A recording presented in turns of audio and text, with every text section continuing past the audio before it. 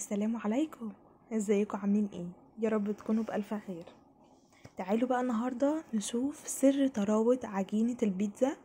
عايزة أقول لكم إن هي هتكون أحلى من بره.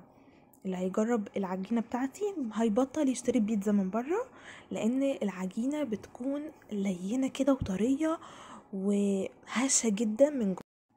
أول حاجة نصلي على النبي. اللهم صل وسلم وبارك على سيدنا محمد. ما تنسنيش ال like وال share و subscribe لأسرار المطبخ مع خلود. أول حاجة عملتها كوباية القهوة علشان خاطر آه، بتروق ال- البال كده يعني. أنا بحب إن أشرب كوباية القهوة أول ما أقوم. طبعا هي عادة مش صح بس أنا بحاول إن أنا أغيرها. يلا بينا ناخد كوباية القهوة ونشربها كده وإحنا بنعمل عجينة البيتزا. العجينة دي أنا بعتمدها دايما مش بغيرها تقريبا خالص فاللي هيجربها بجد هيدعيلي عليها. باكت الخميرة كده كله في كوباية وعليه معلقة صغيرة من السكر وعليه مية دافية أو يعني تقدري إن انت تلمسيها بإيدك عادي. آه، حطهم على جنب علشان لو فارت آه، هنحطها على العجينة. ما فارتش يبقى هي غير صالحه للأكل. هنا حطيت أربع كوبايات من الدقيق أو ثلاث كوبايات ونص. عليهم آه، ذرة ملح صغيرة علشان السنة. ونحط عليها بقى إيه الخميرة بعد ما فارت زي ما أنا وريتها لكم كده. معايا كوباية مية على جنب دي اللي أنا بزود بيها لحد ما العجينة تلم معايا. وربع كوباية الزيت دي أنا مش هستخدم حتى نصها. بس هي على برضو على يعني ال- الزيت والمية على حسب ما الدقيق بتاعك بيلم. مش كل الدقيق زي بعض. في دقيق بيحتاج سوائل كتير وفي دقيق مش بيحتاج سوائل كتير. فده على حسب الدقيق. أنا بستخدم دقيق الضحى وبحبه بصراحة مش بحاول إن أنا أغيره لأن هو كويس جدا في المخبوزات. بدأت بقى إن أنا آخدها على الرخامة كده وأعجنها والعجينة مش أقل من عشر دقايق لحد ما تبقى بالشكل ده. غطيتها كده من فوق بشوية زيت كويسين كده وهغطيها بقى وأسيبها في مكان دافي كده أو في فرن البوتاجاز لو إحنا في الشتا دلوقتي علشان ما يكونش وصل لها سقعة يعني وما تخمرش في وقت طويل. تعالوا بقى هنا هنعمل إيه؟ هعمل معاكم التومية. حطيت أربع كوباية أربع معالق كبار من النشا وحطيت لهم كوباية واحدة من المية دوبتهم مع بعض كده وعلى النار لحد ما توصل للون الشفاف والحتة دي اتقطعت مني فبعتذر لكم. سبتها على جنب لحد ما هديت خالص وبقت بالقوام ده هتبقى شفافة شوية. جبتها حطيتها كده في الخلاط بعد ما بردت حطيت عليها ربع كوباية من الزيت. أحط لها كمان واحدة زبادي. أي نوع زبادي انت بتفضليه أو موجود عندك. بس بجد التومية دي خطيرة حطيت لها كمان أربع فصوص من التوم وكان معاهم قرن فلفل أحمر صغير قوي علشان تديني بس طعم السبايسي شوية. تقدري تستغني عنه لو انت مش عايزاها سبايسي. هحط لها بقى كده إيه هحط لها مايونيز وده أساسي في التومية. أنا حطيت آه، أربع معالق كبار.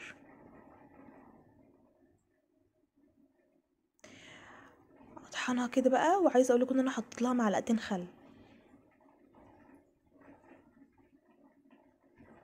بصوا بقى الكوباية ال- النشا يعني أربع معالق نشا أو ثلاث معالق على كوباية مية. بصوا عملوا لي كمية قد إيه. أحلى تومية ممكن تجربيها.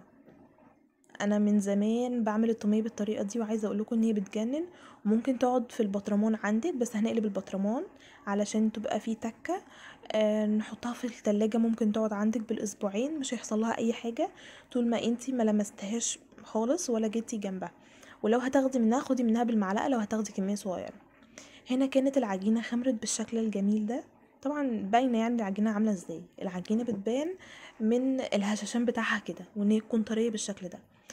ه- قسمتها لتلات كور علشان هعمل تلات بيتزات. أربع كوبايات من الدقيق بيعملوا لي تلات بيتزات كبار زي ما أنتوا هتشوفوا كده. حجمهم حلو.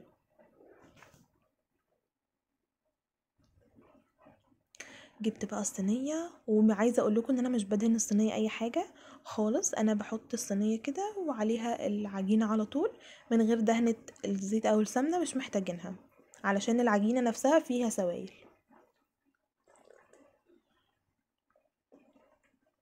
شكشكت العجينة كده علشان تتنفس وما تبقاش مكتومة.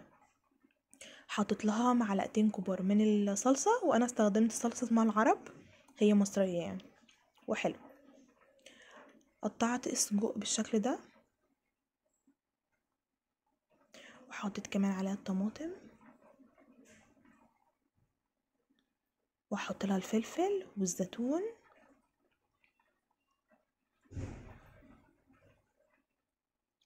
بالشكل ده. لو وصلتي لحد هنا اكتبي لي comment وحطي لي like حلو من إيدك. كده خلاص أول صينية عملتها هدخل على تاني صينية وهعملها بنفس الشكل دوت. وعايزة أقول أنا عايزة اللي يجربها يدخل في ال group بتاع الفيس ويوريني كده آه، عملها إزاي ويوريني كمان النتائج اللي طلعها. نفس الخطوات حطيت لها صلصة وبعدين الطماطم والفلفل والزيتون وهحط لها السجق. أنا مقطعة السجق صغير وعايزة أقول لكم إن أنا ما شوحتهوش. تقدري كمان تشوحيه. عايزة أقول لكم إن هو في الحالتين بيطلع نفس الطعم وما بيكونش فيه أي اختلاف سواء شوحتيه أو سواء عملتيه على طول زي ما أنا عاملاه كده. ما فيش أي اختلاف. أنا جربت بالطريقة دي وجربت بالطريقة دي. مفيش أي اختلاف لأن هو لما بيدخل الفرن إحنا بنكون مولعين ال- الفرن من تحت وحاطينه في الرف النص ولو هتسويه في الميكروويف آه، يعني التسوية بتاعته بتكون حلوة برضو. أنا بحب التسوية بتاعته. آه وبيستوي من فوق كويس جدا وبيستوي من تحت العجينة بتستوي كويس جدا. ما بياخدش أكتر من آه 15 دقيقة في الفرن. بيطلع معاكي تحفة. طبعا وأنا برص كده ال- الحاجة في البيتزا بكون مشغلة الفرن قبلها بخمس دقايق كده علشان لما أدخلها تبقى شغال قبلها بخمس دقايق. هنا سبتها خمرت حاجة بسيطة تاني وبعدين دخلتها الفرن وهنا حطيت لها من فوق الجبن وحطيت لها موتزاريلا وحطيت لها آه، جبنة رومي أو جبنة شيدر براحتك طبعا بس بيتزا يعني جبن. فهي كانت عايزة تتزود أكتر فيها الجبن. هنا كمان حطيت التومية عايزة أقول لكم إن هي خطيرة خطيرة خطيرة. حطيت لكم الطريقة بتاعتها هنا علشان اللي سألني على التومية يعرف الطريقة تاني. أنا كنت منزلاها قبل كده على القناة. متنسونيش بقى في ال like وال share. و subscribe لأسرار المطبخ مع خلود حطيت بقى هنا عليها كاتشب ويا جماعة اللي هيقولي المقاطعة هقول لهم الكاتشب والمايونيز عندي بقالهم كتير. أنا لسه ما اشتريتش جديد خالص منه. هنا كده كانت الصواني كلها طلعت وعايزة أقول لكم إن هي كانت تجنن بجد. بس أنا طبعا صورت بعد ما بردت شوية فكانت الجبنة ما بتمطش قوي زي ما طلعت من الفرن.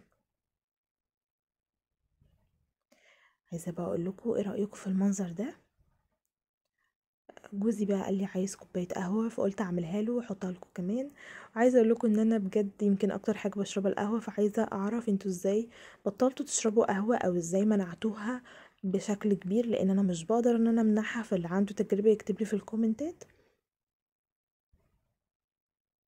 أشوفكم على خير إن شاء الله في فيديو جديد وأتمنى إن الفيديو يكون عجبكم والسلام عليكم ورحمة الله وبركاته.